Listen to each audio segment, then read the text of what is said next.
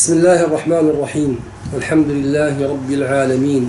وصلى الله على سيدنا محمد النبي الأمي وعلى آله وأصحابه أجمعين. اللهم علمنا ما ينفعنا وانفعنا بما علمتنا وزدنا علما نافعا يا كريم. آمين آمين.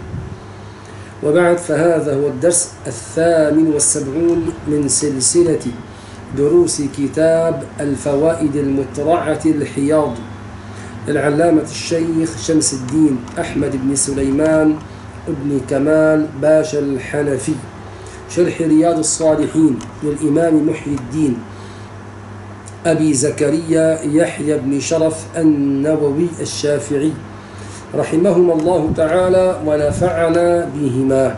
آمين آمين. وصلنا إلى قوله رحمه الله باب ملاطفة اليتيم. والبنات وسائر الضعفة والمساكين والمنكسرين والإحسان إليهم والشفقة عليهم والتواضع معهم وخفض الجناح لهم. قال الله تعالى واخفض جناحك للمؤمنين أيا كان وصف المؤمن وجب عليك أن تتواضع له. وقال جل وعلا واصبر نفسك مع الذين يدعون ربهم بالغداة والعشي يريدون وجهه ولا تعد عيناك عنهم تريد زينة الحياة الدنيا. وقال تعالى فأما اليتيم فلا تقهر وأما السائل فلا تنهر. وقال تعالى أرأيت الذي يكذب بالدين فذلك الذي يدع اليتيم ولا يحض على طعام المسكين. قوله تعالى واخفض جناحك للمؤمنين أي لين جانبك لهم وارفق بهم. بالمؤمنين كن بالمؤمنين رفيقا. قال الطائر إذا أراد أن ينحط للوقوع كسر جناحه وخفضه. وإذا أراد أن ينهض للطيران رفع جناحه. فجعل خفض جناحه عند الانحطاط مثلا في التواضع ولين الجانب. ومنه قول بعضهم وأنت الشهير بخفض الجناح فلا تكن في رفعة في رفعه أجدلا. ينهاه عن التكبر بعد التواضع. قوله تعالى واصبر نفسك مع الذين يدعون ربهم سبق تفسيره في الباب قبله. قوله تعالى فأما اليتيم فلا تقهر أي كما كنت يتيما فآواك الله فلا تقهر اليتيم أي لا تذله ولا تنهره وتهنه ولكن أحسن إليه وتلطف به وهذا خطاب طبعا لجميع المؤمنين من خلال سيدنا محمد عليه الصلاة والسلام. قال قتادة كل اليتيم كالأب الرحيم. فلا تقهر أي لا تغلبه على ماله وحقه. لضعفه وفي قراءة ابن مسعود فلا تكهر وهو ألا يعبس في وجهه. فلان ذو كهر. أي عابس الوجه دائما هكذا مقطب الحاجبين. قال منه الخبر الله الله في من ليس له إلا الله. الله الله يعني اتقوا الله اتقوا الله اتقوا غضب الله اتقوا عذاب الله اتقوا انتقام الله في من ليس له ناصر إلا الله. ومنه حديث موسى عليه السلام حين قال إلهي بما نلت؟ ما نلت؟ قال أتذكر حين هربت منك السخلة فلما قدرت عليها قلت أتعبت نفسك ثم حملتها فلهذا السبب جعلتك واليا على الخلق لأنك رحيم. فلما نال موسى النبوة بالإحسان إلى الشاه فكيف بالإحسان إلى اليتيم؟ وإذا كان هذا العتاب بمجرد الصياح والعبوسة فكيف إذا أذله وأكل ماله؟ أذل اليتيم وأكل ماله. روى الإمام أحمد عن أبي هريرة رضي الله عنه أن رجلا شكى إلى النبي صلى الله عليه وسلم قسوة قلبه فقال امسح رأس اليتيم وأطعم المسكين. وعن أبي أمامة قال قال رسول الله صلى الله عليه وسلم من مسح رأس يتيم لم يمسحه إلا لله ابتغاء مرضات الله. كان له بكل شعرة تمر عليها يده حسنة. ومن أحسن إلى يتيم أو يتيمة عنده. كنت أنا وهو في الجنة كهاتين وقرن بين أصبعيه. رواه أحمد والترمذي مغربا. يعني قال حديث غريب والغريب ما رواه راوي واحد. وليس من الضروري أن يكون الغريب ضعيفا. وعن ابن عباس رضي الله عنهما قال قال رسول الله صلى الله عليه وسلم من آوى يتيما إلى طعامه وشرابه أوجب الله له الجنة البتة. إلا أن يعمل ذنبا لا يغفر كالشرك. ومن عال ثلاث بنات عال ثلاث بنات أو مثلهن من الأخوات فأدبهن ورحمهن حتى يغنيهن الله أوجب الله له الجنة.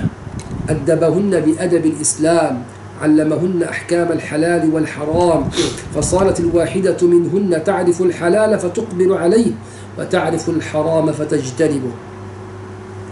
فقال رجل يا رسول الله أو اثنتين؟ قال أو اثنتين حتى لو قالوا أو واحدة لقال واحدة. ومن أذهب الله بكريمتيه بكريمتيه يعني عينيه أوجب له الجنة. قيل يا رسول الله وما كريمتاه قال عيناه. رواه في شرح السنة. ولابن ماجه عن أبي هريرة قال قال رسول الله صلى الله عليه وسلم خير بيت في المسلمين بيت فيه يتيم يحسن إليه وشر بيت في المسلمين بيت فيه يتيم يساء إليه. وعن عمر بن الخطاب رضي الله عنه قال قال رسول الله صلى الله عليه وسلم إن اليتيم إذا بكى اهتز لبكائه عرش الرحمن. فيقول الله عز وجل لملائكته من أبكى هذا اليتيم الذي غيبت أباه في التراب؟ فتقول الملائكة ربنا أنت أعلم فيقول الله تعالى لملائكته إني أشهدكم أن لمن أسكته وأرضاه أن أرضيه يوم القيامة. قال وكان عمر إذا رأى يتيما مسح رأسه وأعطاه شيئا خرجه ابن إسحاق له. قوله تعالى وأما السائل فلا تنهر أي كما كنت ضالا فهداك فلا تنهر السائل في العلم المسترشدة. قيد السائل هنا بطالب العلم. بطالب العلم. وإن كان كثير من العلماء قال السائل يعني المتسول شحاذ يعني. قال ابن إسحاق أي فلا تكن جبارا ولا متكبرا ولا فحاشا ولا فظا على الضعفاء من عباد الله. فعندما يأتيك طالب العلم يتعلم منك كن به لطيفا رؤوفا رفيقا. وأعطه ما يريد من العلم. هكذا كان نبينا عليه الصلاة والسلام. وقال قتادة الآن سبحان الله يعني صار التكبر من طلاب العلم على الشيخ. صار طالب العلم يعني يتمنن على الشيخ بأنه يحضر عنده. نعم. فإذا ما أعرض الشيخ مرة مرة عن التلميذ أو فعل شيئا مثلا بقصد أو بدون قصد تجده يعرض ويقول أنا لا لا أحضر عند الشيخ فلان. إيه؟ الأمر لك. إن حضرت أو لم تحضر أنت الخسران. يعني هذا مما ينبغي التنبه له أحبابنا. وقال قتادة يعني رد المسكين برحمة ودين. يقال نهره وأنهره إذا استقبله بكلام يزجره. وفي المراد من السائل قولان. أحدهما وهو اختيار الحسن أن المراد منه من يسأل العلم ونظيره من وجه عبس وتولى وحينئذ يحصل الترتيب لأنه قال تعالى أولا ألم يجدك يتيما؟ فآوى ووجدك ضالا يعني غير عالم فهدى فعلمك ووجدك عائلا فقيرا فأغنى. ثم اعتبر هذا الترتيب فأوصاه برعاية اليتيم ثم برعاية حق من سأله عن العلم والهداية ثم أوصاه بشكر نعم الله عليه.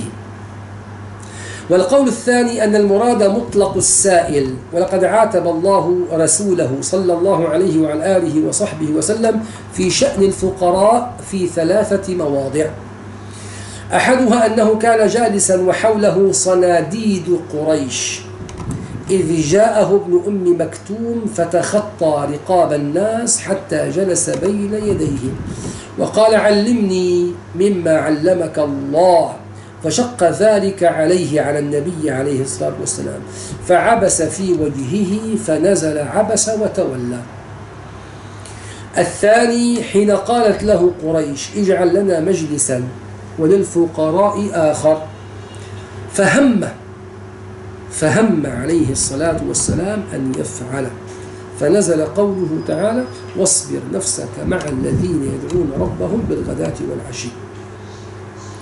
الثالث أنه كان جالسا فجاءه عثمان بعذق من تمر فوضعه بين يديه فأراد أن يأكل فوقف سائل بالباب فقال يرحم الله عبدا يرحمنا. فأمر بدفعه إلى السائل فكره عثمان ذلك وأراد أن يأكله النبي صلى الله عليه وسلم. يعني عثمان أراد أن يأكل النبي هذا العذق فخرج واشتراه من السائل يفعل ذلك ثلاث مرات وكان وكان يعطيه النبي صلى الله عليه وسلم إلى أن قال النبي صلى الله عليه وسلم أسائل أنت؟ أم بائع؟ فنزل وأما السائل فلا تنهر عن أبي هريرة يرفعه. لا يمنعن أحدكم السائل أن يعطيه إذا سأل وإن رأى في يده قلبين من ذهب ما دام سائلا أعطه وإلا فرده ردا حسنا. وقال إبراهيم بن أدهم نعم القوم السؤال نعم, نعم القوم السؤال يحملون زادنا إلى الآخرة. يعني, يعني نحن آه، غير مكلفين بأن نعرف حقيقة أمرهم. جاء يسأل فنعطيه. وقال إبراهيم النخعي وإن كان الآن كثيرون اتخذوا مهنة التسول, التسول مهنة وصار معهم من الأموال ما لا يعلم قدرها إلا الله. وعن ابن عبقاء وقال إبراهيم النخعي السائل يريد الآخرة يجيء إلى باب أحدكم فيقول هل توجهون إلى أهليكم بشيء؟ وعن ابن عباس قال رضي الله عنهما قال قال رسول الله صلى الله عليه وسلم إذا رددت السائل ثلاثا فلم يرجع فلا عليك أن تزبره. يعني أن تزجره. إذا رددته ثلاث مرات. يعني قلت له يا أخي الله يحسن إليك ألا يعطيك. يا أخي ما في مجال الله معه ثم رجع قل له ألا تفهم أنت؟ قوله تعالى أرأيت الذي يكذب بالدين؟ معناه أنا عرفت الذي يكذب بالجزاء من هو؟ إذا بالدين هنا يعني الجزاء والحساب. أرأيت الذي يكذب بالحساب؟ فإن لم تعرفه فإن كنت لم تعرف ذاك الذي يكذب بالحساب فهو. أرأيت الذي يكذب بالدين؟ فذلك الذي يدع اليتيم. فهو الذي يدع اليتيم. وهذا اللفظ وإن كان في صورة الاستفهام لكن الغرض منه المبالغة في التعجب. كقوله أرأيت فلانا ماذا ارتكب؟ يعني معنى أنك أنت تعلم أن المخاطب يعلم ولكن تريد الآن إظهار التعجب مما فعله فلان. ثم إنه خطاب للرسول صلى الله عليه وعلى آله وصحبه وسلم. وقيل بل خطاب لكل عاقل. أي أرأيت يا عاقل هذا الذي يكذب بالدين بعد ظهور دلائله ووضوح تبيانه؟ أيفعل ذلك لا لغرض؟ فكيف يليق بالعاقل جر العقوبة الأبدية إلى نفسه من غير غرض من غير هدف من غير غاية؟ أو لأجل الدنيا فهل يليق به بيع الكثير الباقي بالقليل الفاني؟ يبيع الدنيا الآخرة الباقية بقليل من متاع الدنيا؟ لا يليق بالعاقل ذلك. قال ابن جريج نزلت هذه الآية في السورة في أبي سفيان. كان ينحر جزورين في كل أسبوع. فأتاه يتيم فسأله لحما فقرعه بعصاه. قال مقاتل نزلت في العاص بن وائل السهمي وكان من صفته الجمع بين التكذيب بيوم القيامة والإتيان بالأفعال القبيحة. وقال السدي نزلت في الوليد بن المغيرة. وحكى الماوردي أنها نزلت في أبي جهل. كان وصيا ليتيم. كان وصيا ليتيم. فجاءه هذا اليتيم وهو عريان يسأله شيئا من مال نفسه لا من مال أبي جهل. فدفعه ولم يعبأ به. فأيس الصبي فقال له أكابر قريش قل لمحمد يشفع لك. وكان هذا الذي قال له اذهب لمحمد يشفع لك كان غرضه الاستهزاء أن يستهزئ بالنبي عليه الصلاة والسلام. ولم يعرف اليتيم ذلك ما فهما صغير. فجاء إلى النبي صلى الله عليه وسلم والتمس منه الشفاعة. وكان صلى الله عليه وسلم لا يرد محتاجا فذهب معه إلى أبي جهل فقام أبو جهل ورحب به وبذل المال لليتيم فعيره قريش عيره أهل قريش يعني. وقالوا صبأت؟ فقال لا والله ما صبأت ولكن رأيت عن يمينه وعن يساره حربة. يعني رمحا حربة خفت إن لم أجبه يطعنها في أن يقتلني. وروي عن ابن عباس أنها نزلت في منافق جمع بين المخل والمراباة. وقيل إنه عام لكل من كان مكذبا بيوم الدين وذلك لأن إقدام الإنسان على الطاعة وإحجامه عن المحظورات إنما يكون للرغبة في الثواب. أو الرهبة من العقاب. فإذا كان منكرا للقيامة لم يترك شيئا من المشتهيات واللذات يعني إلا وفعلها فإنكار القيامة كالأصل لجميع أنواع المعاصي والكفر أنواع الكفر والمعاصي. وقيل الدين ها هنا الإسلام أرأيت الذي يكذب بالإسلام؟ لأنه عند الإطلاق يقع عليه الدين عند الإطلاق يقع على الإسلام فقط.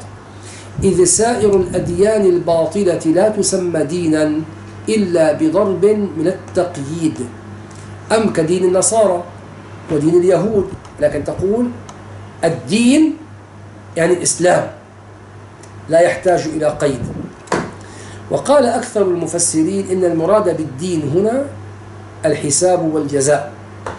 إذ لا يقدم على كل قبيح من غير مبالاة إلا المنكر للمعاد. لذلك أحبابنا الإقدام على المعصية والإصرار عليها مؤشر خطير مؤشر خطير على أن المرتكب بهذه المعصية وكأنه ينكر الجزاء يوم القيامة. يعني هو إن لم ينكره بلسانه ولكنه ينكر ذلك بأفعاله. يتمادى بسفك الدماء يتمادى بسلب الناس أموالهم ويتمادى بالظلم وإيقاع الظلم بالآخرين يتمادى يتمادى يتمادى وكأنه يقول لا يوجد يوم يحاسب فيه العباد. قوله تعالى فذلك الذي يدع اليتيم أن يدفعه بعنف وجفوة. حاصل الأمر في دع اليتيم أمور. أحدها دفعه عن حقه وماله بالظلم.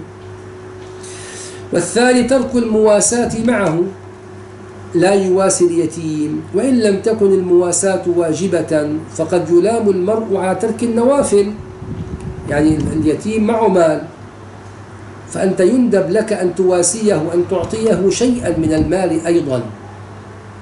هذه الإعطاء هذا نافلة هذا غير واجب علي. ألا تعلم بأن الإنسان يلام يوم القيامة على ترك النوافل؟ كذلك تلام هنا على ترك المواساة لليتيم لأن اليتيم بحاجة إلى من يواسيه. الطفل الصغير وإن كان معه فلوس في جيبه إذا أعطاه أبوه فلوسا فرح وكذلك اليتيم هذا يفرح إذا أضفت إلى ماله مالا. قال لا سيما إذا أسند إلى النفاق والثالث أن يزجره ويضربه ويستخف به. وهذا من كبائر الإثم هذا من كبائر الإثم أن تضرب اليتيم. وفي قوله يدع بالتشديد فائدة وهي أن يدع بالتشديد معناه أن يعتاد ذلك أن يعتاد الزجر والضرب والدفع والعياذ بالله. فلا يتناول الوعيد من وجد ذلك عنه نادرا وندم عليه. ومنه سمي ذنب المؤمن لمما. ليه؟ لماذا لمما؟ قال لأنه كالطيف والخيال. يطرأ ولا يبقى. تطرأ المعصية فيندم فيستغفر فتزول. ولا يعتاد فعلها. قوله تعالى ولا يحض على طعام المسكين فيه وجهان. أحدهما أنه لا يحض نفسه على طعام المسكين يعني على إطعام المسكين. ليه؟ لقساوة قلبه وخساسة طبعه بخيل دنيء شحيح. والثاني أنه لا يحض غيره بسبب أنه لا يعتقد في ذلك الفعل ثوابا. يعني هو لا يفعله وكذلك لا يحض غيره على فعله.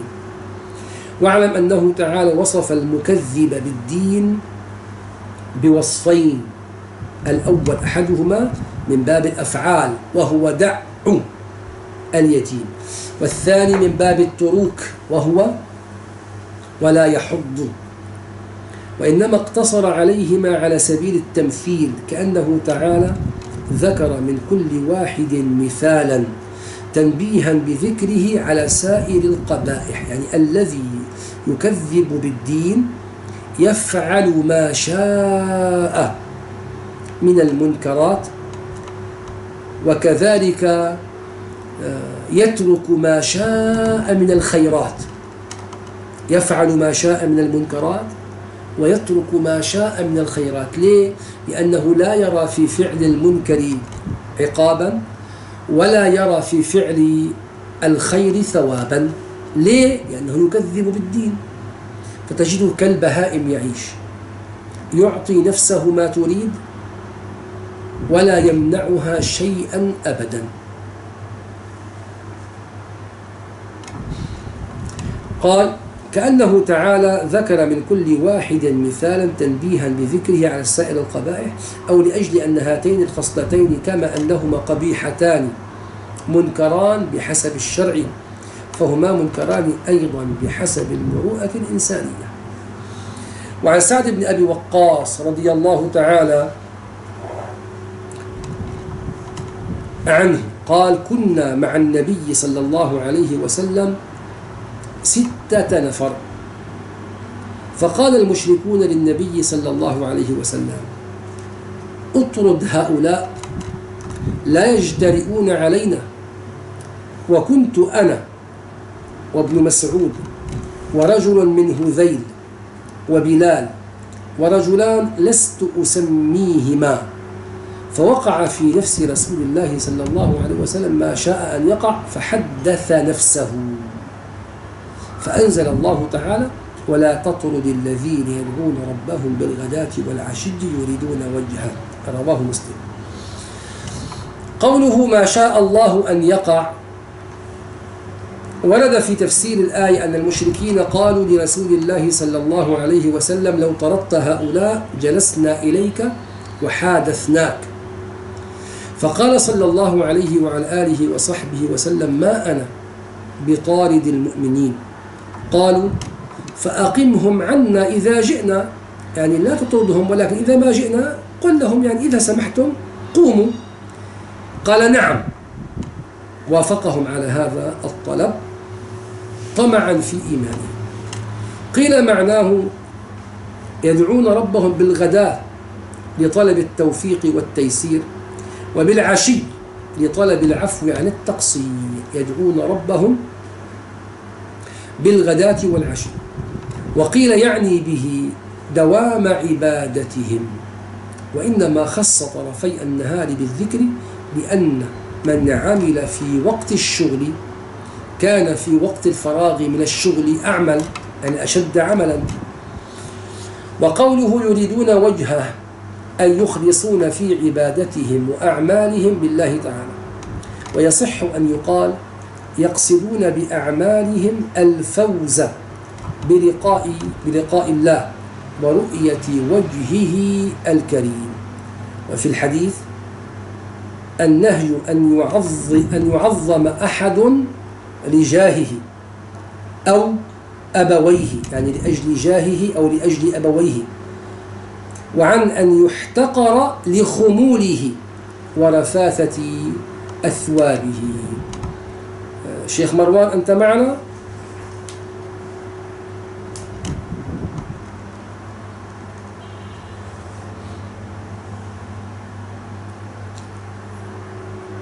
معنا شيخ مروان؟ نعم شيخ مروان معنا؟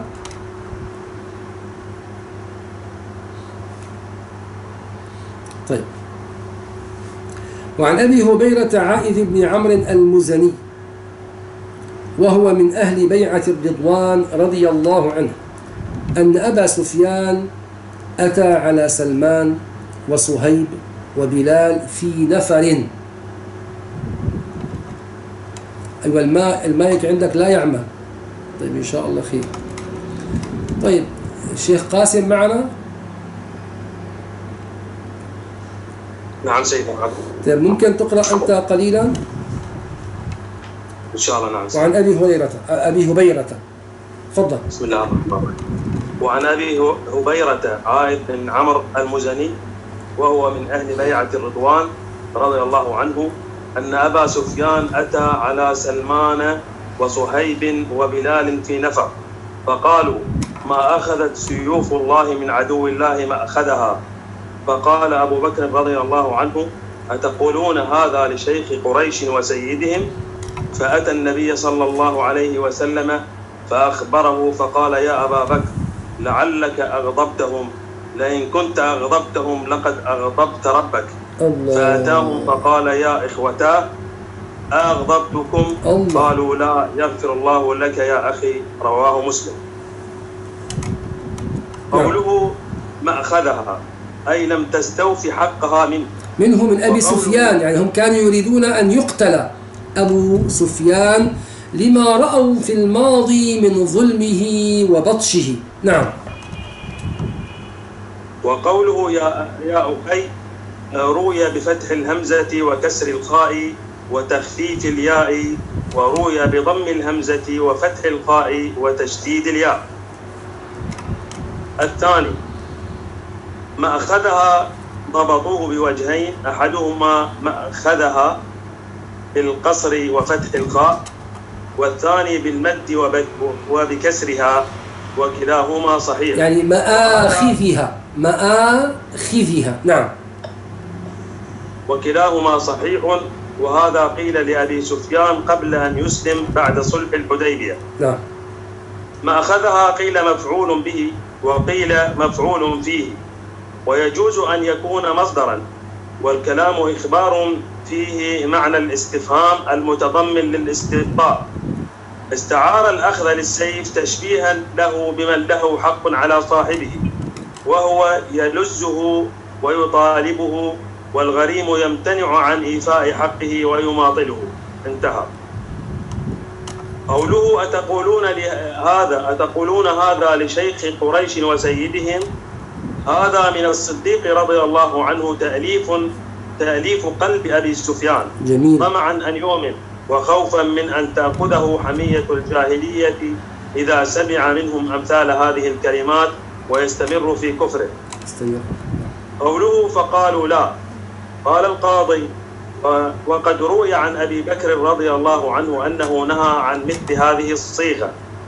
وقال قل عافاك الله رحمك الله لا تزد أي لا تقل قبل الدعاء لا فيصير صورة فيصير صورته صورة نفي الدعاء. أيوة.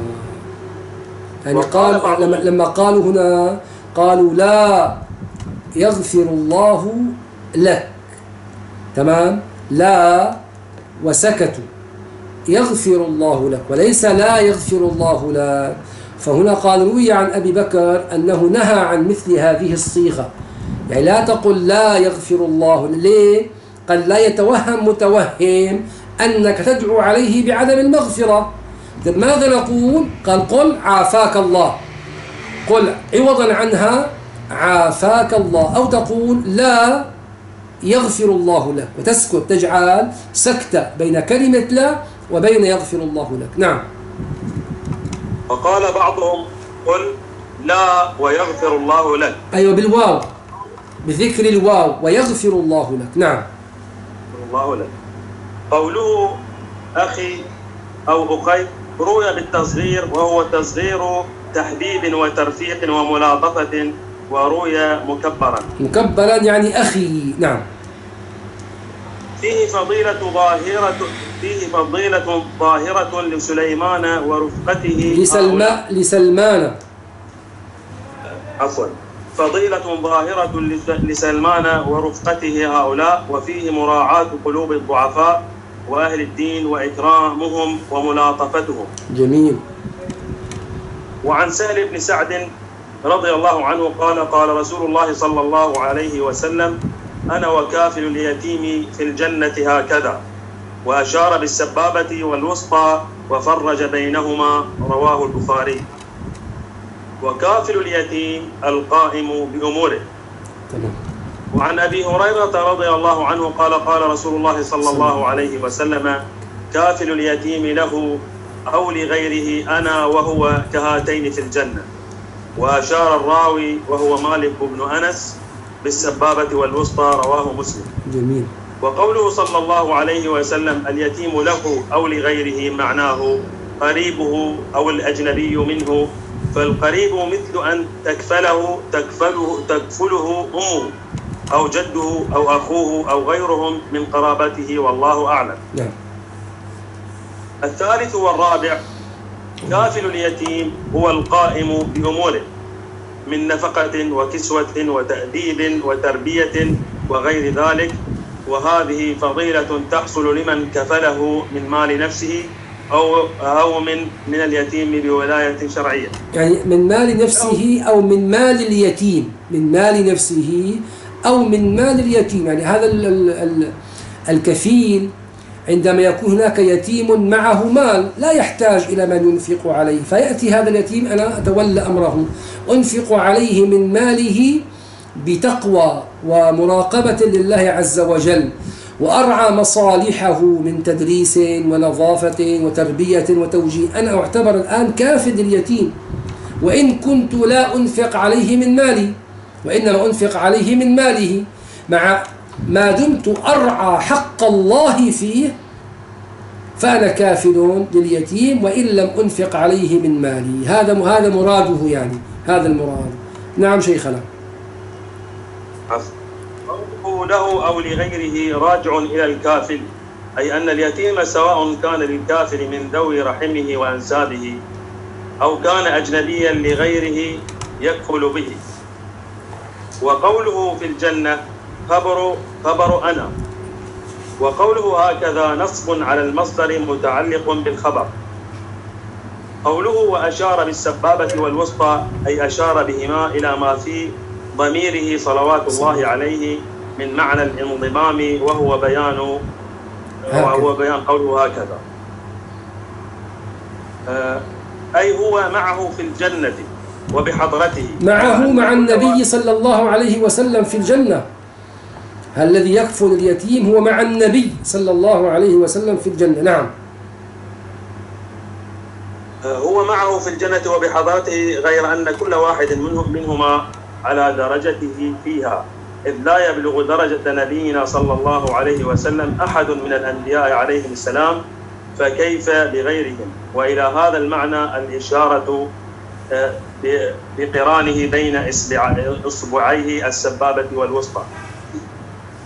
فيفهم من الجمع بينهما المعية والحضور ومن تفاوت وك وكأن أحبابنا كأنه والله أعلم. أنا ما قرأت هذا في كتاب ولكن هذا ما ينبغي يعني أن يقرر والله أعلم. أن الجنة الخاصة بالنبي الكريم الرؤوف الرحيم عليه الصلاة والسلام والتي لا يحضرها إلا الأنبياء هذه جنة خاصة. وكأن هناك جنات جنات فرعية هي للنبي عليه الصلاة والسلام يلتقي بها يلتقي بها بأصحاب هذه الأحوال بأصحاب هذه الأحوال. يعني لا يدخل هذه الجنة التي هي للنبي عليه الصلاة والسلام أعدت للنبي صلى الله عليه وسلم لا يدخلها لا يدخلها إلا من كان يكفل هذا اليتيم. أما الجنة الخاصة بالنبي عليه الصلاة والسلام فلا تلك هذه خاصة به صلى الله عليه وسلم. ويحتمل ويحتمل أيضا أن أصحاب هذه الأحوال الذين يكفلون الأيتام يكون معهم مثل ما يسمى كرت بلانش يعني أو إذن عام. يدخلون على النبي عليه الصلاة والسلام متى شاءوا متى شاءوا إلى جنته الخاصة به. وذلك لأنهم آه، حققوا الشرط وهو أنهم قاموا بكفالة اليتيم على النحو الذي أمر الله وأرشد إليه النبي عليه الصلاة والسلام. فهم يدخلون إلى جنته ويلتقون به متى شاءوا؟ دون شرط دون إذن وهذا لا مانع منه لأن المعصوم ماذا قال؟ أنا وكافل اليتيم في الجنة كهاتين. فكيف يكون هو ومعه في الجنة؟ عندما يؤذن له بالدخول متى شاء وكيفما شاء. نعم يا سيدي. فيفهم من الجمع بينهما المعية والحضور ومن تفاوت ما بينهما اختصاص كل واحد منهما منهما بمنزلته ودرجته. وقد نص النبي صلى الله عليه وسلم على هذا المعنى بقوله المرء مع من أحب وله ما اكتسب. انتهى. قال الترمذي الحكيم وإنما يزن على هذا سائر الأعمال لأن اليتيم قد افتقد تربية أبيه وبره ولطفه وتعاهده مصالح أموره وهي أعظم الأغذية. والله تعالى ولي ذلك كله يجريها على الأسباب. فإذا قبض أبويه فهو الولي لذلك اليتيم في جميع أموره. كما روي عن عطاء قال قال موسى عليه السلام يا رب تميت أبوي الصبي ومن لا حيلة له وتدعه؟ هكذا. قال يا موسى أما ترضى بك كافلا؟ الله. ومن ومن أسمائه تعالى الكفيل والوكيل. فإنما توكل لعباده وتكفل لهم بما يحتاجون إليه وهو حسبهم فاليتيم كافله خالقه. فمن مد يده إلى كفالة هذا اليتيم فإنما ذاك عمل يعمله عن الله لا عن نفسه. والرسل من شأنهم أنهم يؤدون عن الله حججه إلى خلقه وبيانه وهدايته فلذلك صار كافل اليتيم بالقرب منه في الدرجة والموقف. وليس في الموقف بقعة بقعة أر- أروح أروح. ولا أروح. ولا أنور ولا أطيب ولا آمن من البقعة التي يكون فيها محمد صلى الله عليه وسلم. فإذا نال كافل اليتيم القرب من تلك البقعة فقد سعد جده. نقف هنا في هذا القدر كفاية. نقف هنا والحمد لله رب العالمين. ربنا تقبل منا وعافنا واعف عنا واقبلنا واحفظنا بأسرار الفاتحة. بسم الله الرحمن الرحيم.